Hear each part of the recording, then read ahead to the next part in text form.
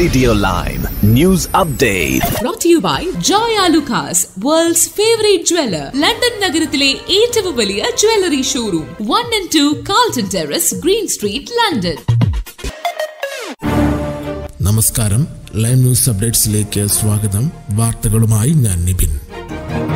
Warwick ഷെയറിൽ വാഹനങ്ങൾ കൂട്ടിയിടിക്കുവാൻ കാരണക്കാരൻ ഇന്ത്യക്കാരനാണെന്ന് police. ആകാശിനെ തിരിഞ്ഞ് പോലീസ് പരക്കം പായുന്നു.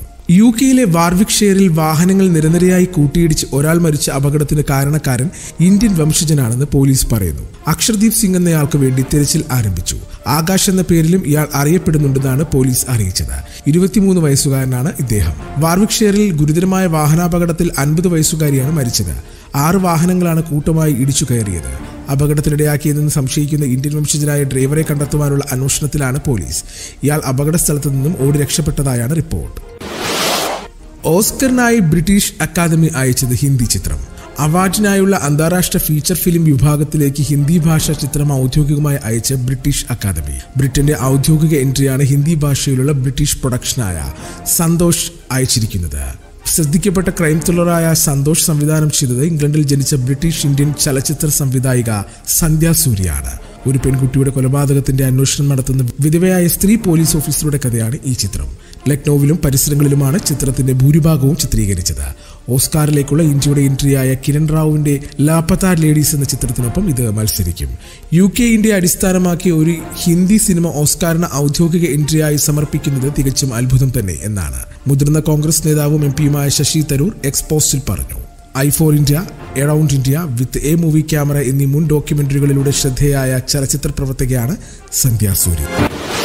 ഇന്നു മുതൽ ഇലക്ട്രിസിറ്റി ഗ്യാസ് ബിൽ പത്ത് ശതമാനം ഉയരും. കുടുംബങ്ങളുടെ ശൈത്യകാലം കടുപ്പമേറും.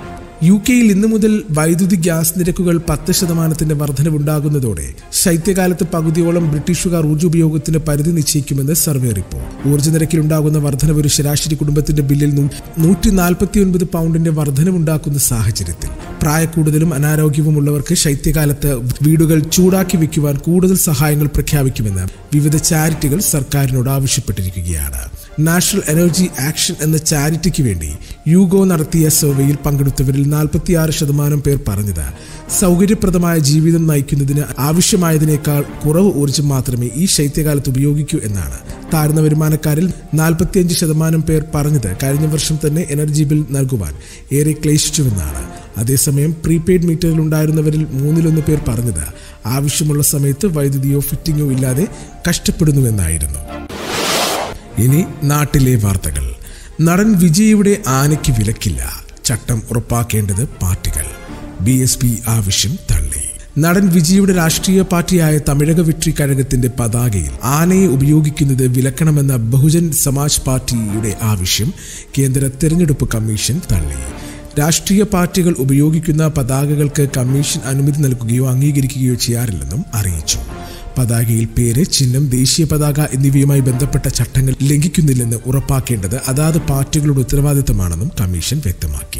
കൂടാതെ തമിഴക വെട്രിക്കഴകം പാർട്ടി ചിഹ്നത്തിനായി ഇതുവരെ അപേക്ഷിച്ചിട്ടില്ലെന്നും അതിനുശേഷമേ താൽക്കാലിക ചിഹ്നം അനു അനുവദിക്കുമെന്നും അറിയിച്ചിട്ടുണ്ട്. വാണിജ്യ എൽ പി ജി സിലിണ്ടറിന് വീണ്ടും വില കൂട്ടി. പുതിയ നിരക്ക് ഇന്നു മുതൽ വാണിജ്യ ആവശ്യത്തിനുള്ള എൽ പി ജി സിലിണ്ടറിന്റെ വില വീണ്ടും കൂട്ടി. പൊതുമേഖലാ എണ്ണ കമ്പനികൾ നാൽപ്പത്തിയെട്ട് രൂപയാണ് കൂട്ടിയത്. ജൂലൈയിൽ മുപ്പത് പോയിന്റ് അഞ്ച് രൂപ കുറച്ചിരുന്നുവെങ്കിലും ഓഗസ്റ്റിലും സെപ്റ്റംബറിലും യഥാക്രമം ഏഴ് പോയിന്റ് അഞ്ച് രൂപ മുപ്പത്തിയൊൻപത് രൂപ എന്നിങ്ങനെ കൂട്ടിയിരുന്നു. ഇതോടെ മൂന്ന് മാസത്തിനിടെ ആകെ വില വർധനവ് കേരളത്തിൽ തൊണ്ണൂറ്റിനാല് പോയിന്റ് അഞ്ച് രൂപയായി. ഹോട്ടലുകൾക്കും റെസ്റ്റോറന്റുകൾക്കും തട്ടുകടകൾക്കും തിരിച്ചടിയാകുന്ന നയക്കമാണിത് പുതുക്കിയ വില ഇന്നു മുതൽ പ്രാബല്യത്തിൽ വന്നു. കൊച്ചിയിൽ പത്തൊമ്പത് കിലോഗ്രാമിന്റെ വാണിജ്യ എൽ പി ജി സിലിണ്ടറിന് ആയിരത്തി ഇരുന്നൂറ്റി നാൽപ്പത്തി ഒൻപത് രൂപയും തിരുവനന്തപുരത്ത് ആയിരത്തി ഇരുന്നൂറ്റി എഴുപത് രൂപയും കോഴിക്കോട് ആയിരത്തി ഇരുന്നൂറ്റി എൺപത്തി ഒന്ന് പോയിന്റ് അഞ്ച് രൂപയുമാണ് വില. പീഡന പരാതി. നിവിൻ പോളിയെ ചോദ്യം ചെയ്തു ഗൂഢാലോചന ആരോപണത്തിൽ നടന്റെ മൊഴിയും രേഖപ്പെടുത്തി. ദുബായിൽ വെച്ച് പീഡിപ്പിച്ചെന്ന യുവതിയുടെ പരാതിയിൽ നടൻ നിവിൻ പോളിയെ ചോദ്യം ചെയ്തു. കേസ് അന്വേഷിക്കുന്ന പ്രത്യേക അന്വേഷണ സംഘമാണ് നിവിൻ പോളിയെ ചോദ്യം ചെയ്തത്. പരാതിക്ക് പിന്നിൽ ഗൂഢാലോചനയുണ്ടെന്ന് നടന്റെ മൊഴിയും അന്വേഷണ സംഘം രേഖപ്പെടുത്തി. തനിക്കെതിരായ പീഡന പരാതിയിൽ ഗൂഢാലോചന അടക്കം ചൂണ്ടിക്കാട്ടിയും വിശദമായ അന്വേഷണം ആവശ്യപ്പെട്ടും നിവിൻ പോളി മുഖ്യമന്ത്രിക്ക് പരാതി നൽകിയിരുന്നു. ഈ രണ്ട് പരാതികളുടെയും അടിസ്ഥാനത്തിലാണ് എസ് ഐ ടിയുടെ ചോദ്യം ചെയ്യൽ. പീഡനം നടന്നുവെന്ന് പറയുന്ന സമയത്ത് നിവിൻ പോളി കൊച്ചിയിൽ തന്നെ ഉണ്ടായിരുന്നുവെന്ന് തെളിയിക്കുന്ന രേഖകൾ നടൻ കേസ് അന്വേഷണ സംഘത്തിന് കൈമാറിയിട്ടുണ്ട്. പീഡനം നടന്നുവെന്ന് ആരോപിക്കുന്ന തീയതികളിൽ വർഷങ്ങൾക്കു ശേഷം എന്ന സിനിമയുടെ കൊച്ചിയിലെ സെറ്റിലായിരുന്നു നിവിനെന്ന് ചിത്രത്തിന്റെ സംവിധായകൻ വിനീഷ് ശ്രീനിവാസൻ നേരത്തെ വെളിപ്പെടുത്തിയിരുന്നു. ഇനി കായിക വാർത്തകൾ. കറക്കി വീഴ്ത്തി സ്പിന്നർമാർ. ബംഗ്ലാദേശിന്റെ ഏഴാം വിക്കറ്റും വീണു കളി പിടിക്കാൻ ഇന്ത്യ. ഇന്ത്യക്കെതിരായ രണ്ടാം ടെസ്റ്റിലെ രണ്ടാം ഇന്നിംഗ്സിൽ പിടിച്ചു നിൽക്കുവാൻ സാധിക്കാതെ ബംഗ്ലാദേശ്.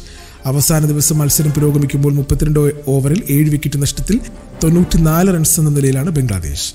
ബംഗ്ലാദേശിന് നാൽപ്പത്തിരണ്ട് റൺസിന്റെ ലീഡ് മാത്രമാണ് ഉള്ളത്. അഞ്ചാം ദിനം ബംഗ്ലാദേശിനെ അതിവേഗം പുറത്താക്കി വിജയത്തിലേക്ക് കുതിക്കുകയാണ് ഇന്ത്യയുടെ തന്ത്രം. ബോളർമാർ ഇത് കൃത്യമായി നടപ്പാക്കുമെന്ന് ആരാധകരുടെ പ്രതീക്ഷ.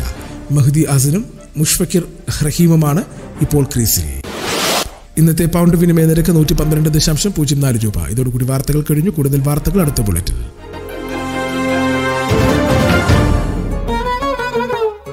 കൂടുതൽ വാർത്തകൾക്കും വിശേഷങ്ങൾക്കുമായി റേഡിയോ ലൈം ആപ്പ് ഡൗൺലോഡ് ചെയ്യൂ പ്ലേ സ്റ്റോറിൽ നിന്നും ആപ്പ് സ്റ്റോറിൽ നിന്നും റേഡിയോ.